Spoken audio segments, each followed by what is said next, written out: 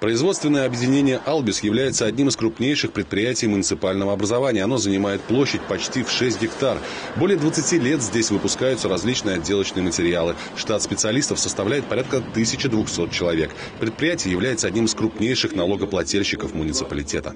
Хотел бы э, вас всех в первую очередь поблагодарить за работу, поблагодарить за активное участие и в общественной жизни нашего муниципалитета. И хочу поблагодарить, что вы вносите вклад и в бюджетную составляющую нашего муниципального образования. В этот день глава района вручил памятные медали 59 сотрудникам учреждения. Российское производственное объединение «Албис» принимало участие в строительстве более 500 объектов на территории России и СНГ. Среди них станция московского метрополитена, международные аэропорты Шереметьево-2, Домодедово, Внуково. Все спортивные сооружения построены к чемпионату мира по футболу.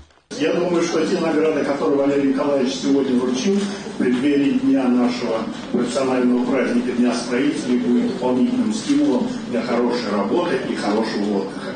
Спасибо вам всем большое за ваш труд и за ту э, работу, которую вы проводите и на предприятии, ну и, надеюсь, э, своим трудом позволяете району жить лучше и богаче. По окончании церемонии глава муниципалитета кратко рассказал о мероприятиях, которые планируется проводить в день рождения района и пригласил всех собравшихся присоединиться к торжествам. В преддверии праздников, э, которые мы будем отмечать 14 сентября, я хотел бы вас всех пригласить на празднование 54-летней годовщины со дня образования города Видное и 90-летней годовщины со дня образования Ленинского муниципального района на, на наши торжественные и концертные мероприятия. В ближайшее время планируется, что глава района посетит еще несколько предприятий муниципалитета. Максим Козлов, Александр Будников, Ольга Садовская. Видное ТВ.